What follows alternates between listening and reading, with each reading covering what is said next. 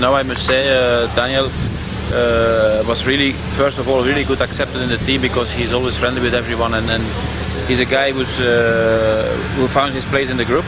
Uh, I must say, yeah, we, uh, what we see now the last uh, the last race is, is someone he he has a good TT in his legs. He he's climbing well. Of course, it's, it's, it's for him. It's not not not so not so normal that he's coming direct to this team, and if of course he needs some time to adapt better and uh, maybe also to, to more understand the, the, the way of cycling uh, on this level. But that's the same for young guys who come over too. We'll have contact with the people who helped him before. From the World Cycling Center. Yeah. So I think uh, there's, there's still a contact between them.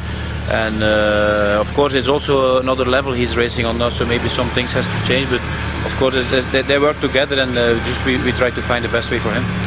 So uh, we think he has really good qualities to make it as a, a, professional rider on this level. And uh, how far he will come at the end, that's something we we, we, we, cannot we cannot uh, see from before. So, uh, but for sure the, the base is there and uh, the power is there. The, also the mental power is there. And I think if Daniel uh, Daniel continues like this, uh, yeah, I think uh, for the not, not not maybe for next year, but he needs some time. But he will be a rider. Uh, he can he will be, he will surprise a lot of people. I think.